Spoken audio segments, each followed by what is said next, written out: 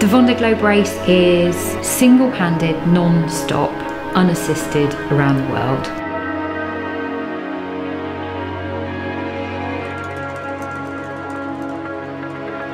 Solo ocean racing, in my opinion, is the toughest form of sailing that you could possibly do. It's just kind of just the extreme of the extreme of the extreme.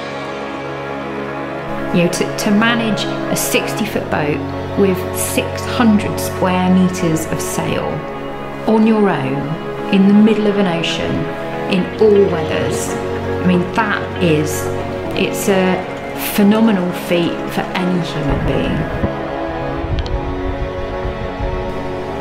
Oh my word, this is this is really hard work. I think I'm just so run down. And then I know that in 12 hours, this deck will be awash with water. The boat will be flying along. I'm up here right now, bailing out water.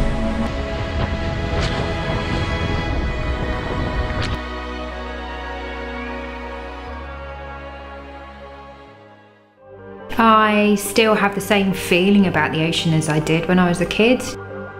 It represents opportunity and freedom. I've been on and around boats since I was a baby, really. We've got a photo, of, a family photo of me aged one on a boat. In my late teens, I started reading a lot of books about the ocean racing that was going on then. I came across the Vendée Globe race. And in these races, they were doing the same thing as the Whitbread. They were sailing the same size boats round the world, but single handed.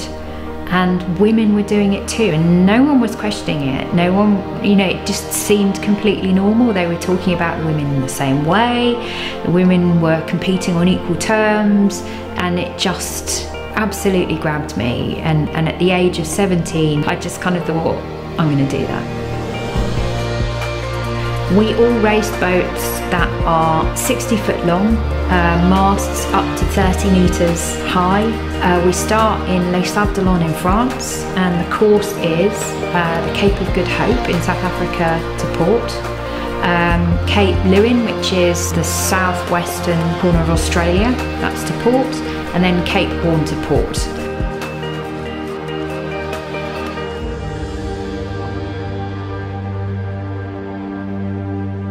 Was really, really foggy, really foggy at the start, so they had to delay it for two hours. And then the fog lifted really quickly, and the race committee made the decision to let us go. That was it. it within minutes, um, all, all my team who were on the boat with me had just gone, and, and I was heading for the start line. And, and then, you know, all the emotion of the moment really hit me. And already at that moment, you know, I felt like I'd won because I'd achieved what so, so, so many people never get to do. Just to start the race. 24 hours in.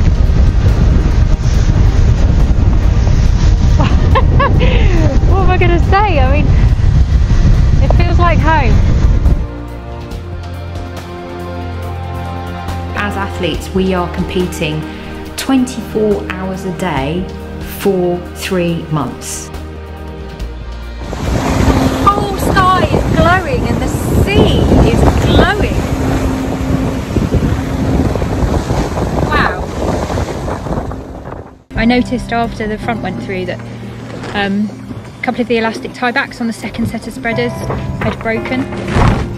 Uh, and um, so I've decided now is probably the best chance I'm going to have to go up the mast and fix them. Uh, I'm more than a little afraid because I hate doing this, but the conditions are just about perfect. I've got all my kit together. I'm going to be climbing using this, which basically belays me as I climb. I have this, which is a hand ascender and a foot loop, and of course my helmet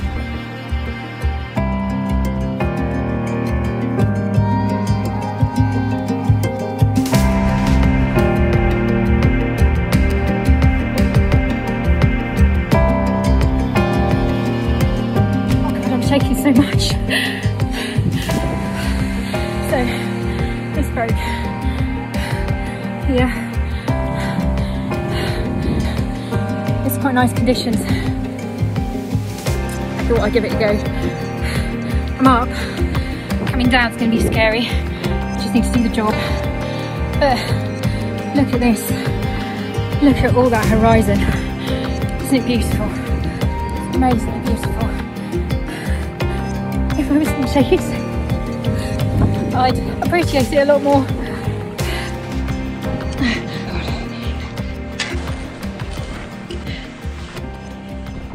Oh boy.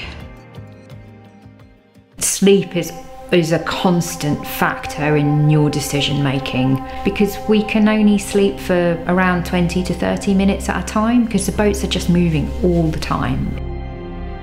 I've got stability now for a bit, so I'm going to have something to eat and then sleep, sleep, oh, sleep. I guess it's like being on a runaway train. You know, the train is just going all the time, it never stops. There's this constant motion and power and noise and all of this distraction going on around you. Um, and you have to find strategic times to sleep. Oh, it's all feeling a little bit relentless at the moment. Uh, the trade winds are really pumping. We've got between 25 and 30 knots, but they're quite unstable.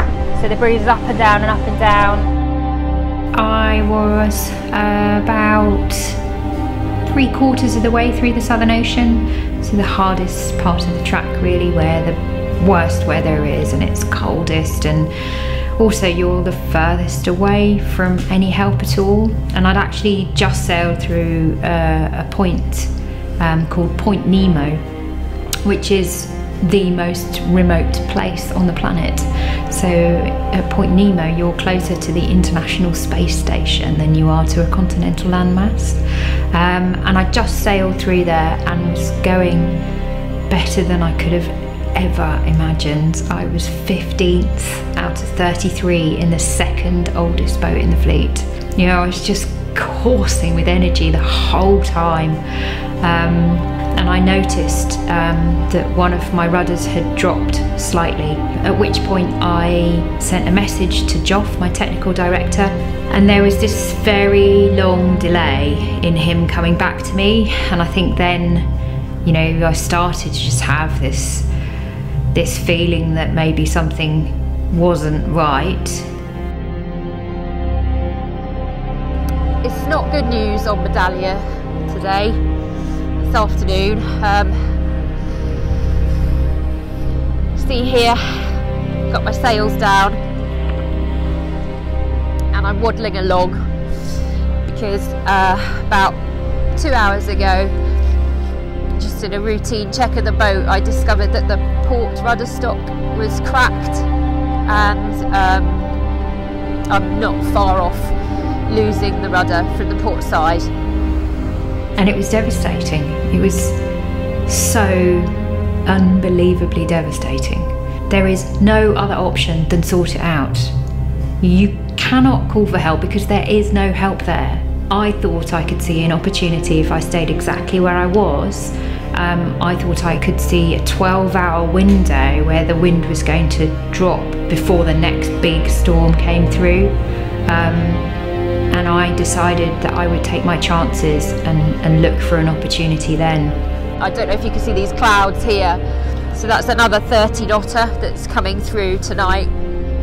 I'm so gutted because it's actually 30 knots slightly from the south. So I was going to jibe onto starboard and ride that along the AZ. Not anymore. But we'll do it at the best time for ultimate success. And when it's done, I'll be back in the game. I mean, the worst thing that could have happened, probably, and I did think about this, was at, at one stage I had the old rudder out, and the only way you can get the new rudder to come in through the bottom of the boat is to throw it over the side.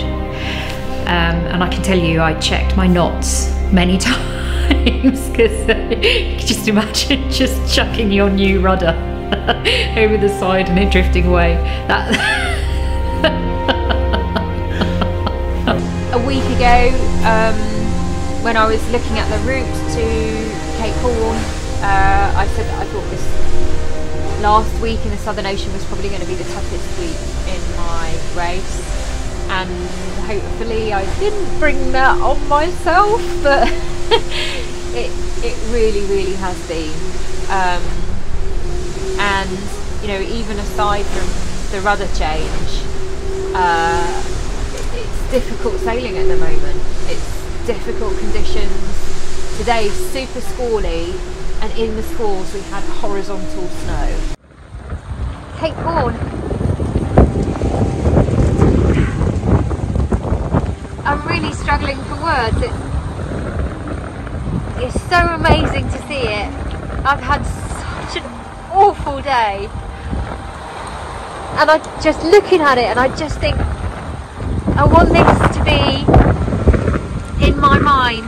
I want it to be burned into my memory for the rest of my life. I can't believe I'm here. I'm so proud. I'm so happy to be here.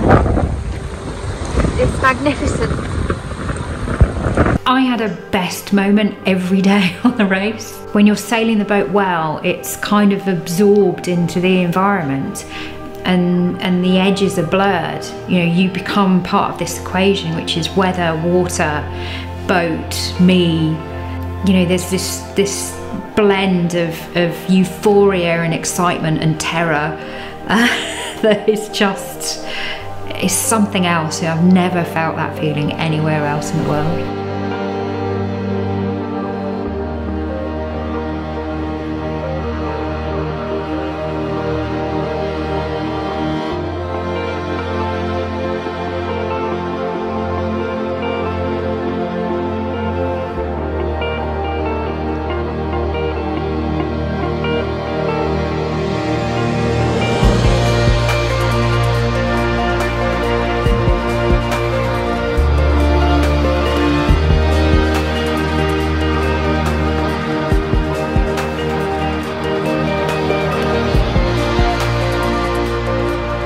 Was within a, a, mile of the line and, and, and all the support boats came out to join me and and I kind of thought, oh well, I, I better go and stand on the deck and wave at them because that's what people expect of me. And I went and did it, and and then I kind of went, hey, I'm about to finish the Vendée Globe race, and then it really did, you know, really did take me then, and and it was incredible, absolutely incredible that I had achieved that.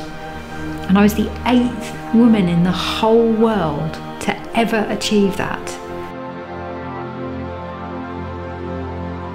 Yeah, it was amazing. It was the best three months of my life. You know, it's seldom that these dreams live up to reality. Um, reality lives up to your dreams. Yeah, that doesn't often happen, but for me it was it was even better than I ever thought it would be.